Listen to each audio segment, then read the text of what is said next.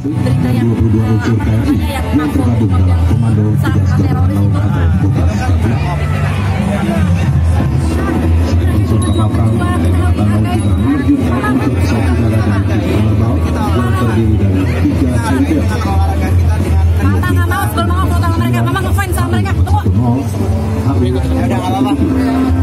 Satu satu lima yaitu NV 411 satu kasa U 610 serta Selen 235 P860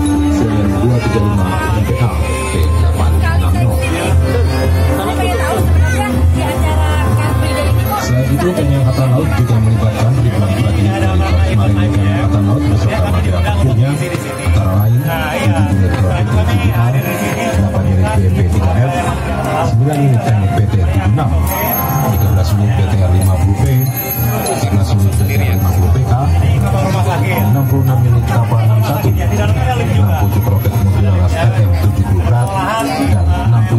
67 Howitzer 105 mm. uh, uh, Seluruh rangkaian kegiatan latihan diawali dengan upacara pembukaan di Lanut Halim Perdana Kusuma.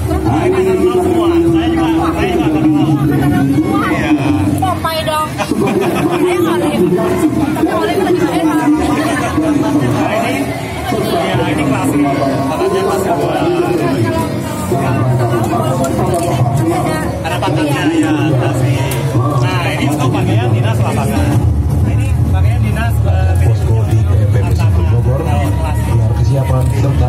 Padepokan dan Material Intermata Ujung Warmatim, Surabaya.